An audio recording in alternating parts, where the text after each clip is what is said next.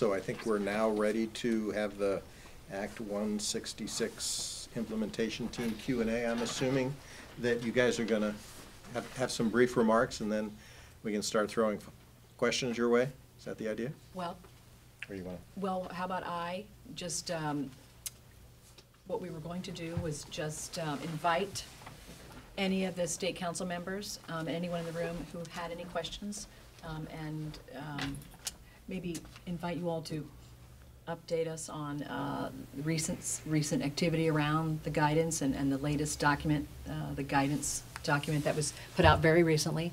And then, um, once you kind of update us on how the guidance committee is, is working, um, its latest product, then maybe we can begin with the questions and answers. How about that? Sure. Okay. Um, So we did, we did produce a guidance document, which hopefully most folks have seen. That's been out for quite a while now. Uh, There is a second document that will be released early in February that will continue to deal with um, the issues that we're working on now and also provide more detail to some of the things that were um, in the first document. Um, One sort of uh, I guess, breaking news is that the pre-qualification application is out, and we are accepting applications and beginning to process those, um, because we knew that one of the first things we needed to do was allow programs to begin to be uh, pre-qualified, so we could work on capacity. Um, And Molly, you want to add some more? No, I think that uh, what we decided to do was rather than wait until we had all of the answers, we went forth and did uh, guidance part one. And it was a little Christmas gift for everyone, or Hanukkah, depending which which you celebrate. Um, and then we we knew that we have a number of things that still needed to be sorted out. So, for example, the guidance around Title One, the Head, Sta- uh, Head Start guidance also needed to be sorted out, and then also our pre-K regions, which we're just submitting now the report to the legislature as required before we actually um, finalize what the that gui- uh, what those interim policies are going to be like. So, uh, so we will be trying to get that out uh, the, in a couple of weeks, actually, and then we'll also have a separate. Last time we had the Q and A, um, the FAQs embedded within the guidance. We're actually going to pull that out and keep adding to those um, to those particular topic headings with new questions that have arisen as we've moved forward. So that's going to be again coming out around the middle, beginning and middle of, of February. Um, other than that, we are working on um, a TA plan and trying to figure out how, given the fact that we all have day jobs in addition to this, uh, wanting to figure out a way to provide the maximum amount of guidance. So, what we opted to do, um, and I say this with a hint of uh, uh, resignation because uh, what we're going to be doing is we're going to be doing webinars. And I think webinars have become what the PowerPoints were two years ago. Deadly. Uh, but anyway, but it is a good and effective way of trying to get a short, Short uh, trying to get as much information out in a way to as many people, and then folks can follow up with additional questions and things of that nature. So we're going to be putting out a series of webinars focused on very specific topics, and the audience is really anyone who would like to uh, come on with some, probably some topics perhaps being more relevant to some people or another, but it's uh, open to anyone who would like to do it. Working on how that's all actually going to, um, how we're going to make sure that we have a platform that is not going to crash, making sure we have all of those things are to be developed in the next couple of days. And um, I, I will say, one of the reasons we decided on that was, um, A, because then we would have something that could be recorded that anybody could access at any time that they wanted to. Um, we would encourage everyone, like particularly private providers, to look at all the webinars so that you have good information about what everybody's hearing. We're going to say the same things to public school partners, so everybody gets, you know, the finances for everybody, pre-qualification is for everybody. So the more that everybody has the same answers, we think the better it is. Um, I think Manuela says, she says that with some resignation, because certainly we would prefer to go out and uh, visit every regional council and uh, have a regional meeting. That I think we'll still get a chance to get out there and talk to people, but that will take a long time to get to every region. And we know that people want information more quickly. So um, it's not that people won't still see us uh, or have us travel around. It's just that we need to get the information out in a quicker way, and then we'll follow that up with some some more face-to-face stuff as we move. Okay, ready for questions? Thank you. Yep. Okay, who has, who has questions? And I'd maybe suggest that you identify yourself for the benefit of the camera. Julie? This question's come, this question comes from Don Powers in the St. Johnsbury um, region. Uh, Will there be, will there be changes to the child care financial assistance program um, because of universal pre-K? Not at this time. Okay. That was easy. Got We'll another one? I do. Blue Ribbon. We'll leave that to the Blue Ribbon Commission. Okay. Will the number of hours that are considered full-time be adjusted in the child care financial assistance program? Not at this time. Okay. So I have a, I have a question now, um, that maybe you can't answer, not at this time. So give us. Come on, Tim. Reva, give us some sense of how the, um, the, the slowdown in the rollout was received out in the world. Oh, that's a great question. Um, Well, I think a number of school districts and school boards um, uh, probably had a sigh of relief because they were trying to figure out how they're going to get their budgets and everything else in time for addressing the anticipated uh, surge of additional kids Yep. within the time frame that they had in order to be able to have something to the voters that was really robust enough. Because, you know, part of it is also um, trying to estimate how many children may take advantage of this, both in terms of continuing and uh, in a school-based program and also through partnerships and having to come up with the um, the state required um, the state required tuition.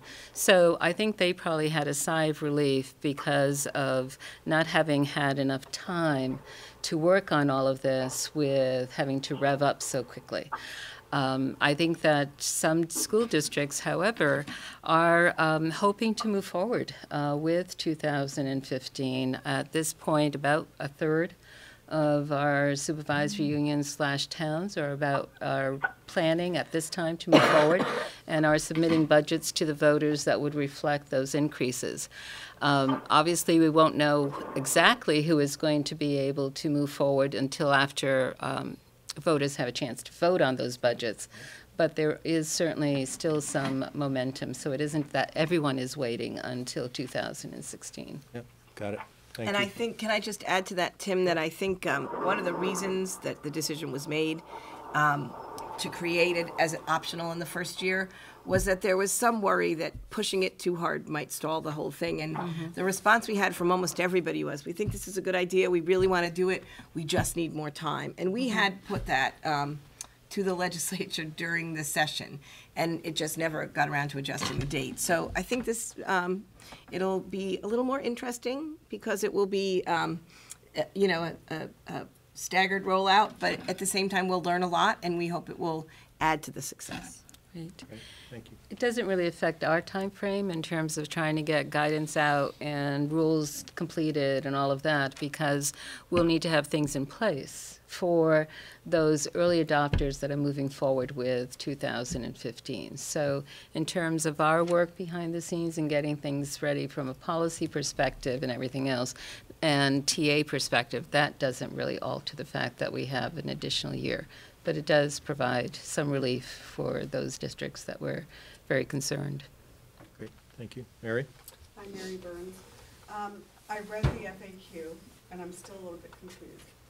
So, um, the, the question was regarding, um, school districts partnering with private providers. It talks about, um, early implementation, 2015 implementation, then later implementation. And in Act 68, um, that bill was written so that private providers, it was included. They must partner with a private provider. There really wasn't a choice whether or not they could or couldn't. So I'm. talking about Act 62? Act sixty-two, I'm sorry. I'm a little Because Act 68 is school financing, I'm so. sorry. And I know nothing about school finance. Yeah, that's why I was going to just, you know, excuse myself as well. So, um, as a private provider, I'm just a little concerned that, you know, a year or two down the road, private providers will not be partnering with school districts for the pre-K funding. Um, and if that's the case, I have grave concern. Okay. I'll. I'll, I'll start, Mary. Um, under Act 166, um, there still will be partnerships. And as a matter of fact, the parents will drive most of those partnerships. But for folks who don't choose to implement uh, immediately, we're assuming it'll be status quo, that they will have the same partnerships they have right now and will continue to move that forward. Uh, and then in, under Act 166, um, they have to partner with anyone that, that a parent in their district wants to send their child to, unless they have a pre-K region, and then it has to be within the pre-K region. And those are designed to protect the existing partnerships. So there's no intention to do away with partnerships under Act Okay, So the 166. reason why I asked the question, Reva, is, can I just read this to you? And maybe all, I'm just not Sure. reading it, um, the way it was intended. Gosh, I It says for 2015-16, later adopters are not required to partner with all pre-qualified programs. Families and directors of those programs may request a partnership, Mhm. but the school district may decide whether to partner or not. right. Later adopters will need to meet this requirement in subsequent years. Right, so basically what that is saying, and maybe it needs to be clarified because obviously if it was confusing, is that um, under Act 166, the school district doesn't have a choice. If a parent has their child uh, enrolled or planning to enroll in a child that is pre-qualified by the state, then automatically the school district, unless again, if it's outside of the pre-K region, the school district doesn't have any discretion. The school district has to provide the statewide tuition for that family to send their child to that pre-qualified program. Under Act 62, and this is what you're referring to, under Act 62, uh, what the school district basically did have, did have the discretion to determine that, yes, I'll partner with YMCA, no, I'm not going to partner with Carolyn's Red Balloon, for example. So they did have that, that discretion. Under Act 166, they do not have that discretion. And so, it, uh, if anything, Act 166 supports more partnerships, uh, but it does put families in the driver's seat because uh, typically what happens now uh, with your program and so on is that the school district has a partnership with your program.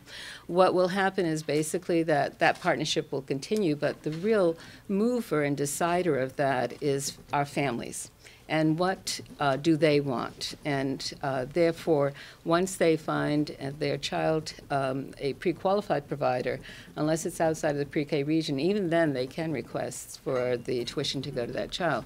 But once they have their child in a pre-qualified program, the district does, can't say, "Oh, I don't, I don't like their program." Uh, they have to provide the tuition. So it actually supports and expands upon, and maybe that needs to be rewritten. I will look at it again. I think maybe what also confused me is I've heard that in Danville, they're just, they have said they're not going to partner with private providers. Well, So Well, it's just, well, They not, they may not be well informed at this point. Yes, I think there's a lot of misinformation or lack of information, should I say, and people are jumping to conclusions. Uh, that's not, and I don't know if they're going to be an early adopter, if they're going to wait until 2016. But if a family has a pre, uh, is uh, in St. Johnsbury, has their child enrolled in a pre-qualified program, if they are moving forward with 2015, now coming this fall, they would need to go ahead and establish a, an agreement with that program. Thank you. We'll do Trish and then Stacy. And just a little bit farther on, on the same topic, because I had similar questions that Mary had.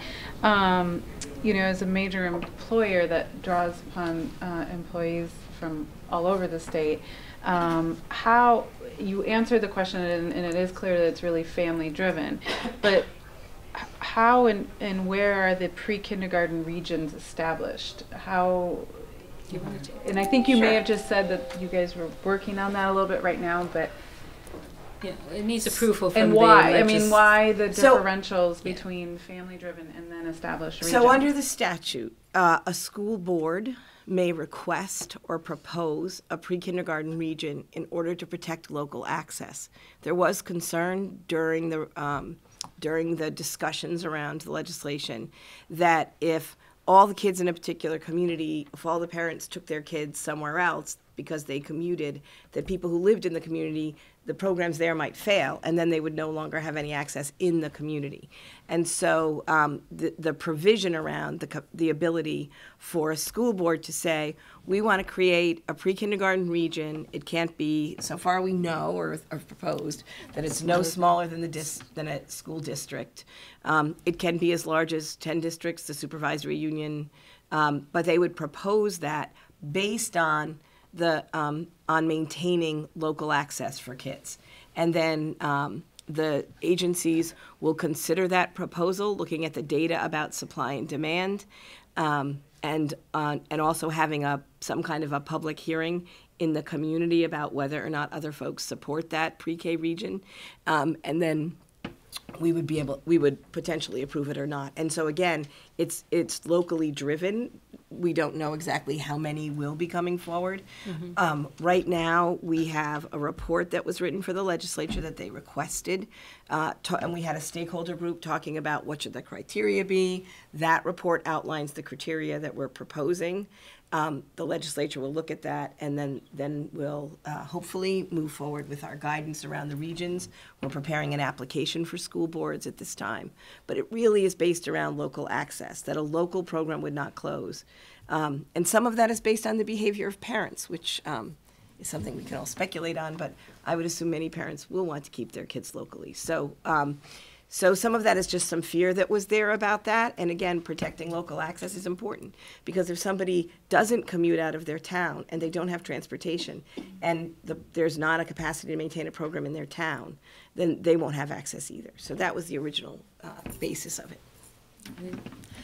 So it's a process, it's an application that they need to do. Now So joining. it's not anything that we set up, it's things which are decided at the local level if they want to make that request to the secretaries. It's coming from, it's coming from the local. It's coming from the local families and so on, and has taken consideration uh, the number of pre-qualified programs, and it also has to look at what is the bordering community as well. So it's a bit of a data gathering and uh, proving, uh, uh, having a justification as to why you want to establish it. So it isn't something which we set up at all. And I have heard from some supervisory unions that they have no intention of setting up a pre-K region.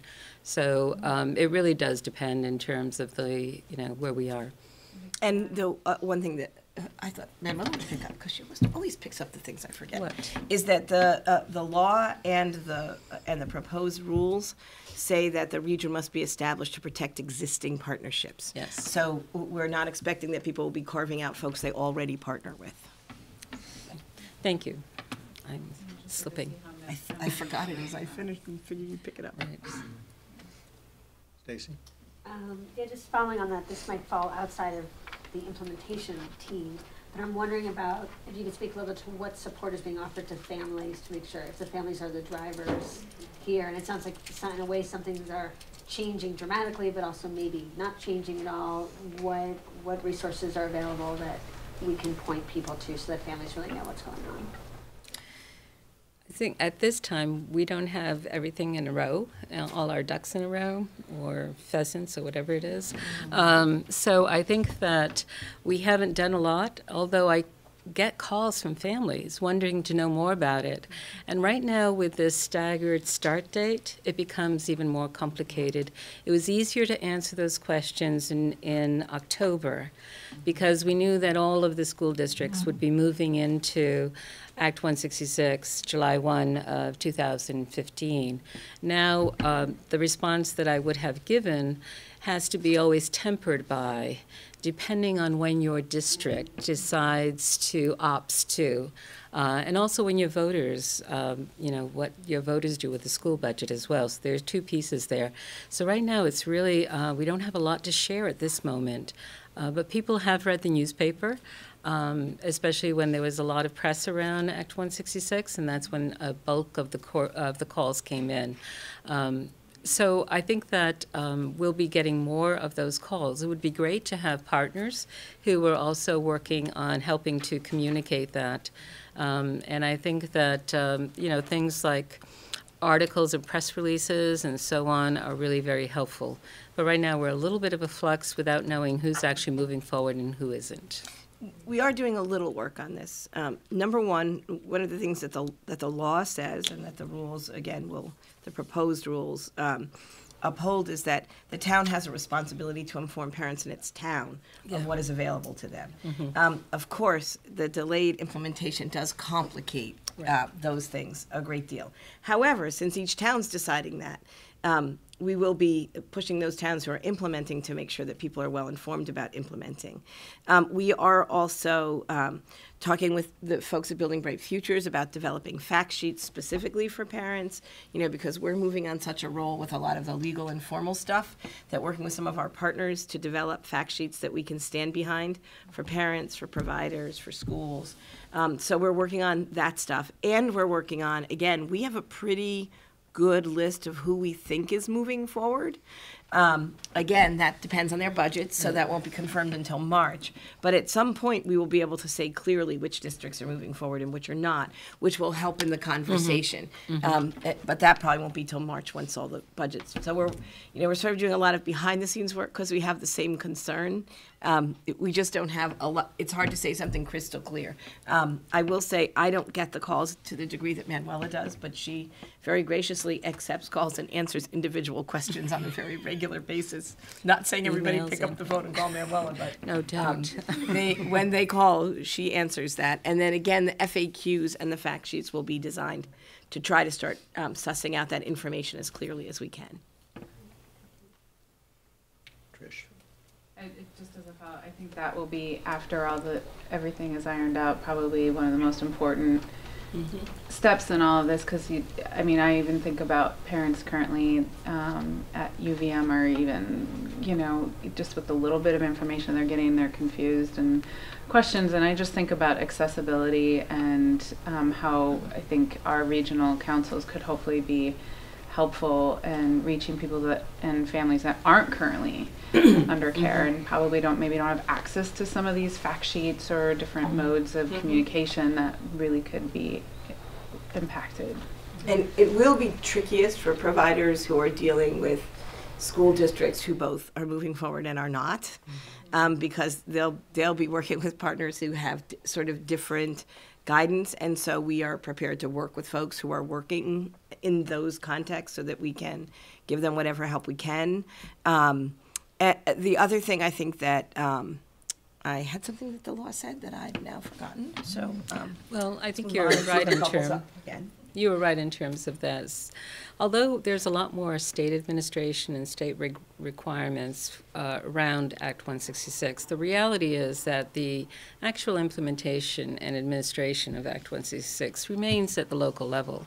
So families register at the local level. Uh, Families find a program at the local level.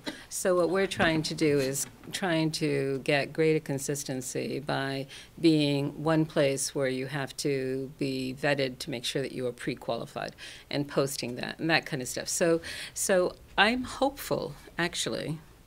And confusion has reigned ever since we passed 62. So, and people still don't understand 62. So, so I'm hopeful that with uh, 166, that if we do it right, that there'll be less confusion ultimately. But um, I did w- want to just add that. Um, that I think the important thing is making sure that the folks who are implementing Act 166 and and administering it, which is the school districts, that they know exactly what they should be doing and can't be doing, so that there isn't um, uh, errors being said, like comments made, like we don't have to partner with anyone. You know, I mean that's a total violation of. But it's I don't fault them. I just think that it's something that we need to correct and get clear understanding across the board because ultimately the responsibility is is actually with the, um, the local school districts, and that's where families need to go to register, et cetera. There's plenty of reasons to partner based on the, what's in the act and, and. Well, it's guidance. also a a have to. And Manuela reminded me what, of what I was going to say. Another thing that the Act did that's actually moving forward for everyone is, um, in the first set of guidance, we talked about the things that are moving forward, and one is pre-qualification. So the standards around pre-qualification have not essentially changed between Act 62 and Act 166. However, every, um, everyone who's going to offer pre-K under any public funding must pre-qualify. That, so the application is out there and available to folks. And then one of the things that folks asked us for, which we've not previously been able to do, is a way for families to find pre-qualified programs. And so now they'll be able to go into the Bright Futures Information System where they would go to find a childcare program and they can search for a pre-qualified program. And that will be available to them online. And we think that's going to be really helpful for school districts and for families and for everyone to know who's been through the process, has met the standards, and is pre-qualified to offer. And that's all happening for everyone regardless mm-hmm. of when they implement this year. Right. We're going to do one more question on this topic. Malika, did you have your hand up? Are you trying to get in there? I, I, I I think it's answered, and I, I think it's at a lower level than this. Anyone else? Mark, you want to Yeah, I'll- jump? No. Oh, and then Eddie. And let you guys be one. Each get a half a We are one anyway. The, um, so Mark Sustic, the, uh, if we stepped away from 166 for a moment and thought about pre-K for all, and thought about more than the school year, more than 10 hours a week, et cetera, and partnerships with folks, and we even thought that pre-K maybe includes birth to three, if we think about anything before pre-K. Do you see 166 as a path, as part Now of? joining Bethany. as a part of the pathway to get there? Or is there, are there, are there other avenues to get to this bigger picture that Success by, I mean, Success by Six, Building Bright Futures might be thinking about in a bigger, in a bigger view of, of where we're headed with this? Do you, do you see 166 as an efficient, good way, good milestone to get us to a bigger, a bigger piece? I certainly see Act 166 as a really important milestone. The achievement of universality is really um, is really critical, and I know even for us sitting on the implementation team, as we started to look through rules, we'd go, "Oh gosh, that's right." They're entitled to pre-K. Like that's a huge deal. Is it everything we ever wanted? You know, is going down this bifurcated path the best idea? Well, anybody who doesn't agree with that, myself included, um, lost that battle a long time ago, and so you have to make progress where you can make progress. And I think that um, I think that Vermont has made huge progress in passing this law. And when we start thinking, started thinking about implementing it, it is a little mind blowing when you go to the every single kid's entitled. Uh, conversation. So uh, it, it's not everything, but it's. I think it's a good It's step along the path. Place to be on our way. Right. Yeah. And we're very, very excited. We are trying to keep these separate, but I'm going to mention it Yeah. anyways, that we got the pre-K expansion grant because we think that that's a way for us to figure out some of those other things even while we begin to roll out Yeah, Let me just Act make a, 166. I'll say this sort of personal editorial comment that often the, the uh, rules and regulations end up being, uh, implementing the destination in and of itself, rather than looking at the, the ultimate destination we might be headed to. Okay? Can I just respond as well? Sure. So, Act 166 is actually built uh, upon the Act 62. So basically, what the legislature did was um, crossed out a bunch of things in 62 and wrote in universal access. Um, and I can see in a few years um, Act 166 as being several pieces crossed out and increasingly looking at the full continuum of early childhood. I could see that happening.